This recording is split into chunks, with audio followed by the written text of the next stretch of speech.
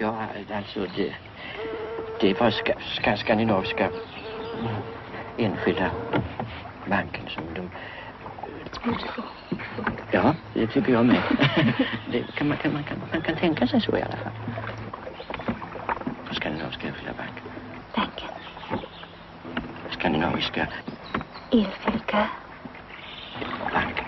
Och då, då så kunde man, sen kunde man skaffa sig ett eget hus där, så sa de. Och så kunde, kunde man lägga upp ett litet kapital och ja, man kan faktiskt göra allt där.